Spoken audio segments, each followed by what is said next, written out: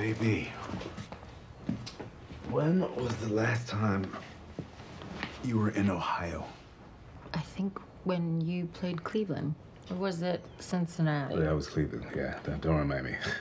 And you fumbled in the fourth quarter and lost the game. Didn't I tell you not to? Okay, sorry, you brought it up.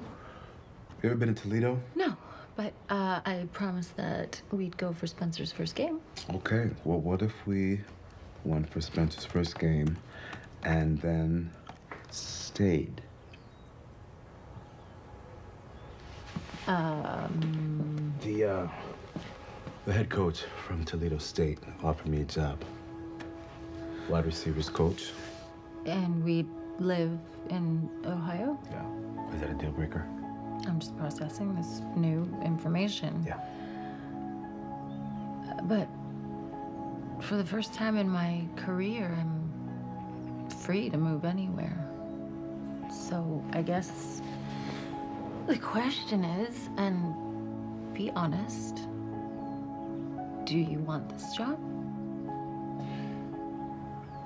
Yeah. I think I do.